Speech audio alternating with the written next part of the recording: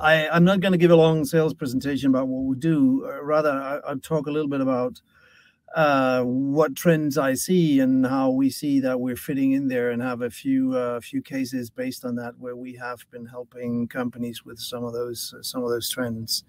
Uh, so I think the, the first trend that I see, and that relates to what we were just talking about, and what is now coming back on everybody's mind, is that uh, safety will become a big issue even in 2022. So people need to need to feel uh, safe in the office.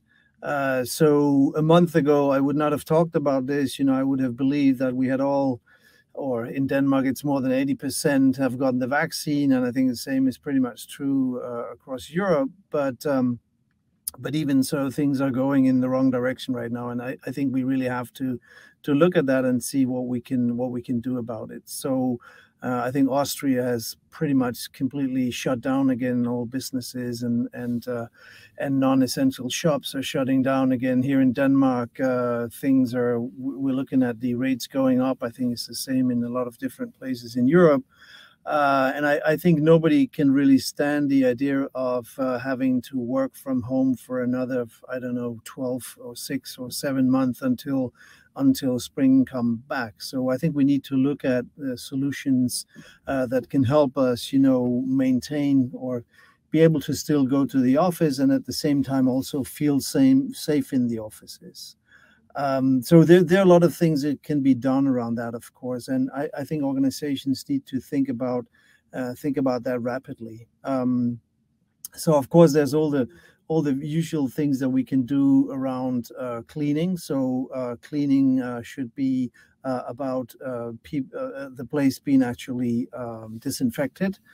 so we talked to some bigger cleaning companies, and and you know back in the day it was all about places looking clean. nowadays it's all about people feeling ensured that the place is disinfected. But there's a lot of things you can do also with with data, and that's that's some of what we are supporting and what we have been supporting through the pandemic. Uh, so, so a, a, bit of background on that is that um, so so before the pandemic, we were looking a lot at uh, space optimization. You know, making good sense of the the, the data from our sensors in supporting organizations, uh, downsizing and optimizing all the space that they were using. Um, then, of course, the pandemic hit, and in Denmark, the shutdown was in March. I think March 11th uh, last year, and and people were leaving the offices. They were basically sent home. That basically, as we all know, happened across the globe. And and obviously, as I as I used to say to people, there's not a lot of a lot of not a lot of money in, in counting people in, in empty buildings. So so we had to do something right. And what we did, what we thought about, and what we uh, set out to develop uh, was that since we are able to, uh, with our sensors, basically measure distance between people, uh, we developed a solution for uh, social distancing uh, based both on our sensor devices, but then also on existing IP camera infrastructure. Um, and so we did some interesting demonstrations in, in shopping malls uh, over the summer last summer. So we would overlay, you know, distance maps on uh, on the video feeds of the existing surveillance or security infrastructure, and then helping helping these uh, these places, you know, uh, um, be aware of uh, situations where people were not uh, maintaining ideal social distance. Uh, so the same solution we actually applied, and also in a case where we were helping one of the large universities in Spain, IE Business School in Madrid, uh, keeping uh, staying open throughout the pandemic. So what you can see here is that they were uh, they were doing, of course, the usual things of of um, um, of um, uh, what do you say disabling the use of every every second chair for example in all of their meeting or in all of their lecture rooms but then also what we implemented was uh, putting our sensors in all of their lecture rooms and basically measuring the distance between the students and alerting facility management staff in case that there were too uh, too high density in the in the room. So we, uh, over the course of a couple of months, installed 600 sensors uh, in in all these lecture rooms, and we provided real time and historical data um, uh, and usage and peak hours in those lecture rooms Uh, we did push and mail notifications when thresholds were reached, uh, and we did documentation so that the university could prove that they were not exceeding uh, regulations, etc., etc. And like anything else we do, the data from our sensors can be uh, integrated into uh, into other solutions. So I think we will see some of that coming back. We will see a need for people uh, knowing that they can feel safe coming back to the to the office and universities and other places, uh, and that is a combination of. Uh, of course, the the cleaning, the the, um, the sanitary part of it, but then also uh, for companies and uh, universities, etc., to have the right solutions in place uh, to make um, to make people feel safe as they come back. So I think that's the one trend.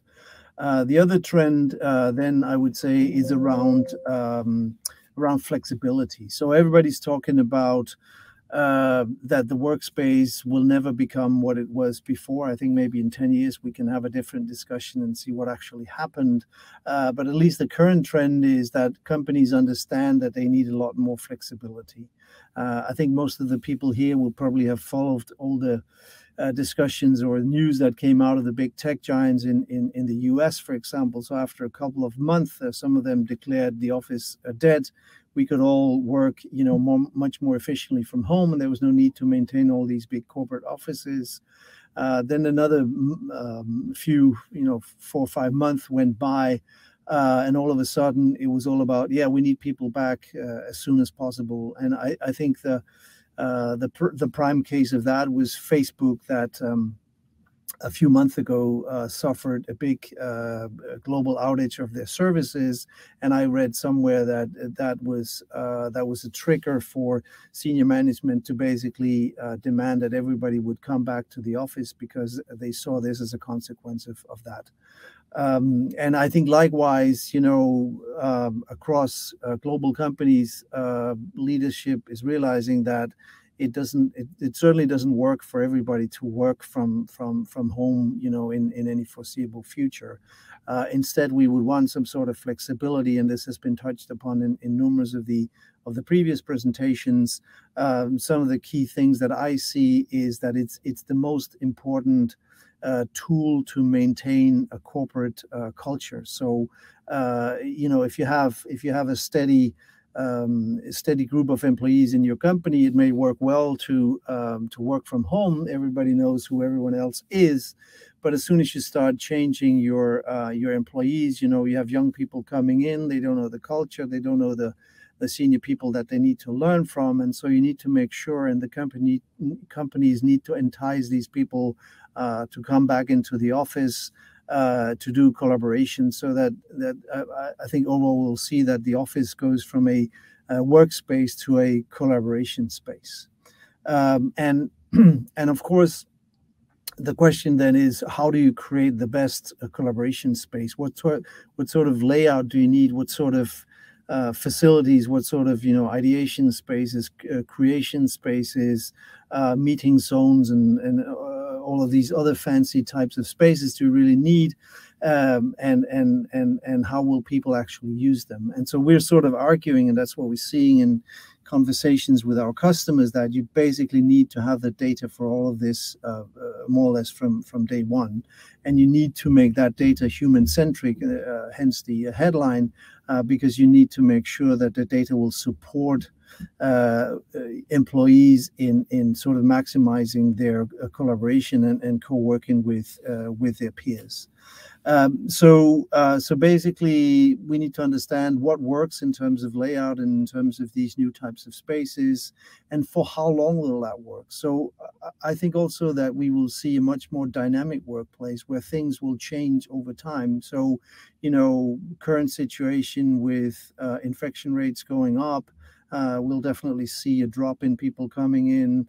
Uh, but other other changes in other situations might lead to uh, different different needs of the users. And I think there's a there's a, a growing realization among uh, companies, big and small, that uh, they need to be able to adapt to these to these changes. And in order to do that, you need to basically have the data to uh, to support what works in in terms of um, in terms of understanding employee behavior and what, what the employees really need uh, uh, when they come into the office. uh, and, and, you need that data with a really uh, a really high level of uh, of granularity. So it's not enough to know how many people are on a floor, for example. You can measure that by measuring the entrances and exits, but you really also also need to understand what types of spaces are being used. And one of the things that really sets us apart is that we can measure basically any type of space. It doesn't have to be uh, a group of desks where you put a sensor under the desk and see how, how it's being used.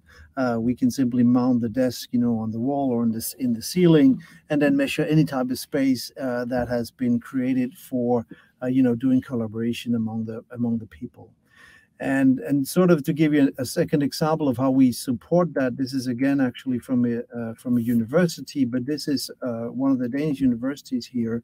And what we're doing here is we're creating an overlay of understanding how the students are uh, using the uh, the big lecture room in this case here. So all the, the heat map that you see on the left left hand side, all the red dots here are where where the students are sitting.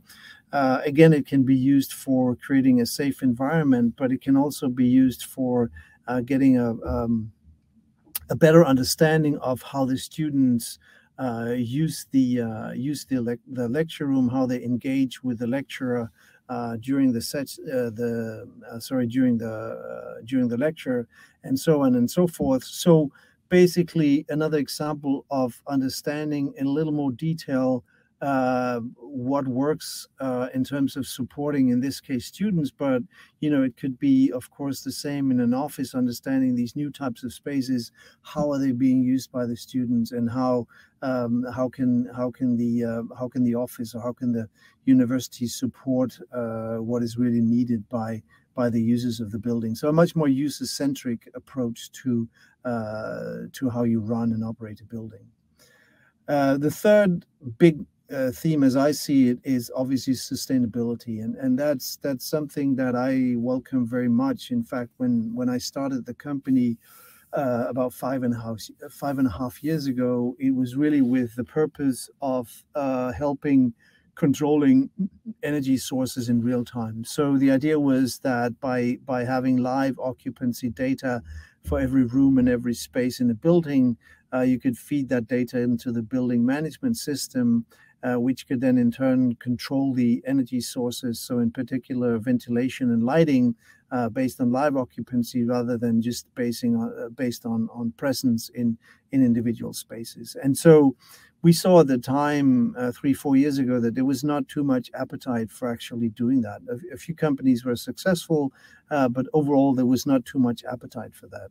And what I'm now noticing on the other side of the uh, uh pandemic, or on the other side, I've said during uh, what has happened over the past year or so, is that there's a, a lot more awareness of sustainability in buildings. And I think in particular, uh, among the users of the building. And I can give you a good example that we recently hired a younger uh, marketing person in our company, and she realized that there was no sorting of the trash in, in this facility where we are. Uh, so she was really actually upset with that, and basically she started bringing home some of the recyclable trash like plastics and and cardboard, etc., because she was not happy with the fact that this particular facility, at least so far, was not doing anything in terms of of trash sorting and thereby sustainability. And I think we will see that users uh, will demand and support a more sustainable uh, way of operating building uh, buildings. It has been uh, said many times that you know 40% of the world's energy is used in buildings, and I think uh, even Juuso said it in the previous presentation. There's really no need to uh, to use energy where people don't actually need it. So that's a clear clear trend there. So there's something technically that can be done, but I think we can also we will also see some uh, gamification around that. So um, I recently took part in a workshop uh, cross-disciplinary uh, here in Copenhagen with architects, engineers, uh, real estate uh, stakeholders, etc., uh, talking about how gamification could also help people be more aware of the state sustainability because it's it's difficult as a as a single user of a big building to feel that you can really make a difference. But we could imagine things like uh, gradually filling the building based on on the actual presence. So uh, having different zones and leading people to these different zones. As the building starts to fill up but that means that you can save energy in a lot of a lot of different areas of the building uh, throughout the day and, and, and basically only need uh, use the energy uh, where it's needed. And you could do that by sort of gamification, by rewarding uh, the the building users with you know different re- rewards based on uh, contributing to that kind of sustainability.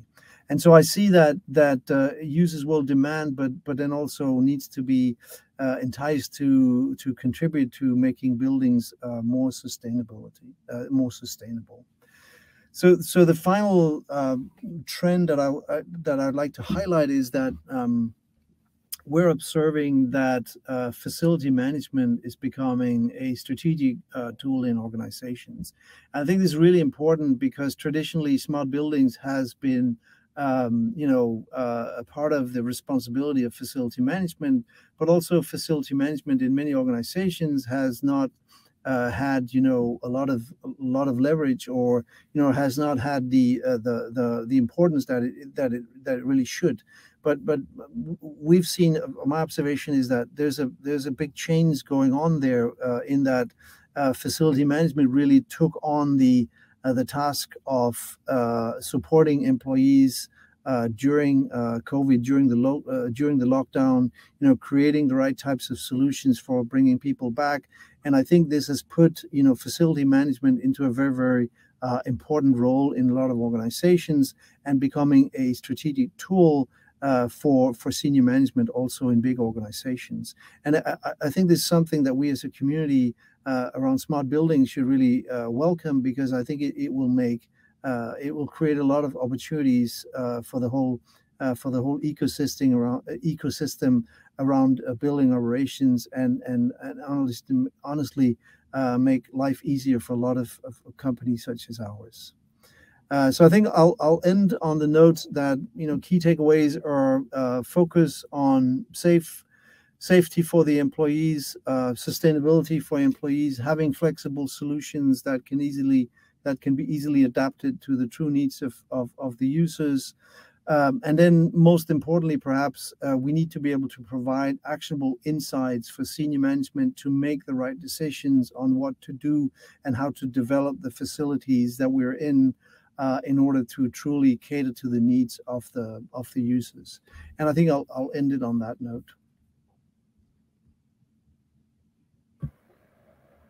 Yeah, thank you very much, uh, Palle. Some great uh, insights. I have some uh, some questions for you, if that's okay. Absolutely. Who needs to care about bringing people back to the office? Yeah, that's uh, I think uh, broadly in the organization. Right? I, I think uh, senior management, for for one, should really, and I, I think it's really about uh, company culture. Coming back to what I said before, uh, you, you cannot develop, you cannot sustain and develop a corporate culture, which is really important for companies if if people don't get to meet over the coffee machine or in you know all these informal meetings. I think you so previously called it bump the, the bump effect right? That when you bump into people and you have this effect. And also um, we talked to companies that said, well, all the young all the young people are coming in, but the the senior people or the the uh, the older people, I can say that because I'm I'm getting there myself, right? They they, they, they, tended to prefer uh, to work from home, but it's really important for the company culture that we bring everybody in, and I think we need to see operation of building and the and the um, the whole facility management as a as a very strategic tool for that. Yeah, well, you see also that uh, uh, these these smart buildings is um, is focusing on um, on the workforce of the of the future. So, yeah. who will be the winners and the losers in the game of attracting those best people? Yeah, no, I, I think it's it, the winners will be those who really uh, want to understand what is needed in the building. You know, so uh, not just saying, okay, we're going to throw in a bunch of phone booths, we're going to throw in a bunch of meeting boxes and uh, quiet, you know, rooms or whatever people call all these different spaces, but really has the will to understand how is it being used, who tends to use what, how can we, you know, how can we really understand if there's some deficiency that we that we really need to address and so it's not enough just to make your space cool. You really have to also understand how people use and interact with it and, and use that for making the necessary changes. Yeah. Yeah. And then, of course, the question uh, that everybody's talking about data, data, data. So data mm. is good, but what can you really do with it? yeah that's true and and so and so a comment on that is that so we were sort of uh, so i've i've been with this now for for six years right and and and six years ago everybody's just yeah we just need data right so just gives us lo- just give us loads of data and we'll uh, we'll figure out what to do with it and then essentially you know you may provide them with monthly reports very detailed uh, data and you know they would maybe month one, two, three, look at it and say, wow, this is super interesting, you know, maybe a little bit here, but then gradually stop actually looking at that because they don't know what to do with it, right? So this data fatigue that we've seen uh, really needs to be, um, you need to address that and you need to make sure that you, you create these actionable insights that I talked about, really creating very high level insights into building usage and uh, especially making it very easy to understand deficiencies and, and things that you that you need to do something about as a as a building operator or facility management or whatever your responsibility is. Yeah, so you really need to do something with it. Exactly. Yeah. Um, and how will the user of buildings truly benefit from all this data?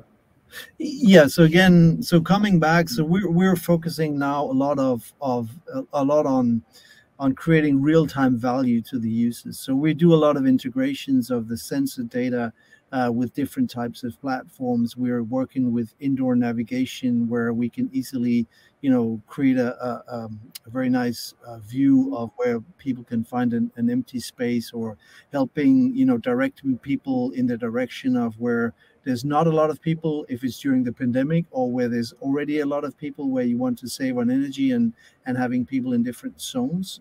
Uh, yep. but then then also by by truly understanding how the how the building is being used and you know looking at um, so we may see that all the all the meeting rooms are booked all the time. That's the thing everybody complains about all the time right? But what if you have just the right capacity. But then trying to start to understand how many times are people actually um, um, unsuccessfully trying to book a meeting room or book someplace, right? If you can start tapping into that data as well and see how that creates a, a subpar experience, and then take that into account when you start to to make changes, then uh, then you can basically benefit a lot, and the users can benefit a lot by getting a, a much better uh, experience, and then in the near term feeling uh, more safe in the building. Yeah, and then one more question that I have for you uh, uh, today. Uh, some other speakers also talked about uh, facility management. Mm-hmm. How come facility management uh, did come in play? because well, a couple of years ago, nobody was talking about facility management. It was really about the real estate people, but now facility yeah. management is actually there. I think it's a really good question. I, I, can I can best perhaps answer it with an example of um, uh, a conference I recently attended, and it was a global Danish company, and they were talking about the journey of facility management during the pandemic. Um, and basically, what when, when the when people were sent home, uh, the facility, the head of the global head of their facility management, he reached out to HR and he asked, "So, what are you going to do about you know people working from home?" and they were like, uh, "We don't know." But then, you know, facility management basically uh, took the responsibility uh, and provided all the right solutions, uh, the infrastructure, everything. And so, in that, you know, just basically became the strategic uh, the strategic tool uh, during the pandemic. And I think it, it just ties in with the bigger picture that. you know, operation of buildings is not just about saving uh, on on the energy here and there and making sure everything is running in terms of the technical installation but it's really a key tool for providing that right user experience that will help bring back people that will help you know create sustain and develop the corporate culture Yeah, and there and that is exactly where facility management is getting in. Exactly. Yes. Yeah. Well, cool. Uh, I think it's good, and I think it's also on the the, the table of the board. So everybody is talking yeah. about now about real yeah. estate. So yeah. I think we have some right momentum. I think it's very good indeed, indeed. So let's just get let's just get on the other. Let's all get that third shot and and, and move on. And move on and get the 2020 uh, started. Yeah. Well, yeah. thank you very much for your insights, uh, Palle, and uh, hope to see you soon. Thank you very much for giving me the time. Have a great afternoon. Have a great afternoon. Bye bye. Bye bye.